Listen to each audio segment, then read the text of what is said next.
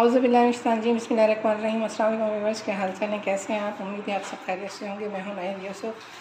आज हम बना रहे हैं आलू के कटलस। तो मैंने उसके लिए तीन अदद आलू लिए, नॉर्मल साइज़ के। इसे हम बॉयल कर लिया है, इसका भुर्ता बनाते हैं, बनाएँगे। इसमें हम जो चीज़ें डाल रहे हैं, सिंपली हरा धनिया डालेंगे, हरी मिर्च डालेंगे, जो तीन चार मैंने काट के रख दी हैं। हरा धनिया है थोड़ा सा बाकी लहसुन अदरक पिसा हुआ है। हल्दी डालेंगे, नमक डालेंगे और हसब ज़रूरत मिर्चें और सफ़ेद ज़ीरे को मैंने हाथ से मसल के रख दिया है, फिर मैं आपको फोड़ के दिखाती हूँ। बाकी ये अंडा है, जिसमें हम बाद में डिप करके इसे फ्राई करेंगे। मैं इसे मिक्स करके फोड़ कर आपको दिखाती हूँ। देखिए ना, मैंने सारे आलू फोड़ लिए हैं, इसमें मैंने हरा धनिया डाल दिया है, हरी मिर्च डाल दी है, ये मसाले डाल दिए हैं। बर्तनों को अच्छे से साफ़ किया करें। अब मैं इसे मिक्स करके दिखाती हूँ आपको। ये देखिए जनाब, ये मिक्स हो गया है। अब हम इसकी टिकिया बनाते हैं फिर आपको दिखाते हैं। इसकी कबाबों की तरह की टिकिया बना लें जैसे आप कबाबों की टिकिया बनाते हैं इसी तरह इसकी गोल टिकिया बना लें आलू की। उसके बाद अब से अंडे में टिप करें और फ्राई कर लें मैं वो भी करके आपको दिखाती हूँ।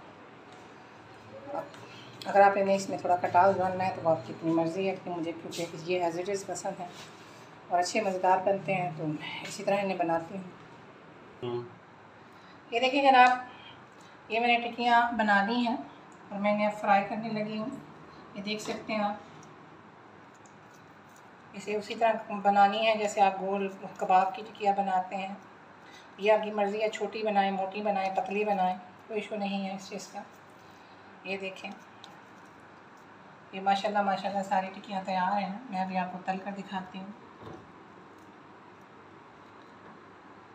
ये देखिए जनाब, मैंने हसब ज़रूरत इसमें तेल डाला है एक चमचा और हल्की आँच रखी है इसका मीडियम फ्लेम रखना है अपने ना बहुत तेज़ करना है ना बहुत हल्का रखना है क्योंकि ये हम्म, आलू जो हैं बॉयल हुए हुए हैं तो हमें सिर्फ़ इन्हें टच देना है सिकाई का जलाना नहीं है।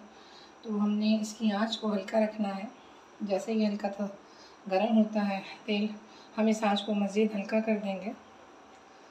फिर मैं आपको डाल कर दिखाती हूँ। हम्म।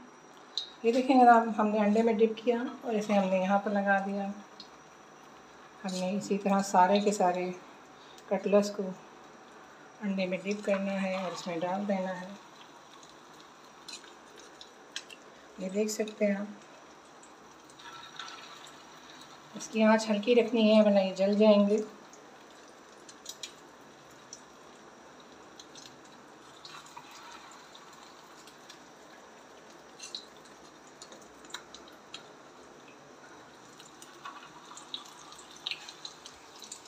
ये देख सकते हैं। इन्हें आप हल्के से उससे एहतियात के साथ उठाएँगे और पलट देंगे। ये देखें। बहुत ही टेस्टी हैं और ये बहुत ही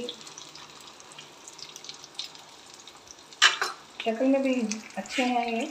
ये खाने में भी इतने ही मज़ेदार होंगे। जब हो जाते हैं, फ्राई मुकम्मल मैं आपको दिखाती हूँ। देखिए ना, बेहतरीन किस्म के कटलस तैयार हो गए हैं। ये जितने ही देखने में खूबसूरत हैं, उतने ही खाने में भी टेस्टी होंगे। इन्हें आप दही के साथ खाएँ, चटनी के साथ खाएँ, पराठे के साथ खाएँ, रोटी के साथ खाएँ, पूरी के साथ खाएँ, ज़बरदस्त लगेंगे। हमें दुआ में याद रखे करें। हमारा कोई भी काम आपको अच्छा लगता है तो हमें सब्सक्राइब ज़रूर करें, कमेंट और लाइक ज़रूर करें। हमें दुआ में याद रखें। जजाकल्ला खैर। अल्लाह आपका हामी नासिर अल्लाह